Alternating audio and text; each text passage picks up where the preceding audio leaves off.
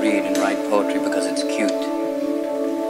We read and write poetry because we are members of the human race, and the human race is filled with passion.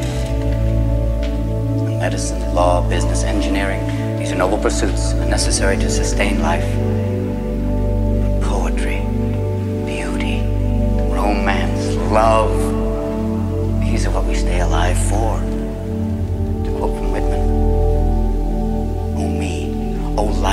The questions of these recurring, of the endless trains of the faithless, of cities filled with the foolish, what good amid these, O me, O life?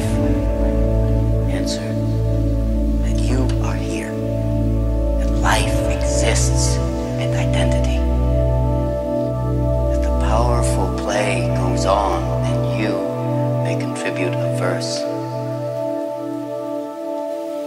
What will your verse be?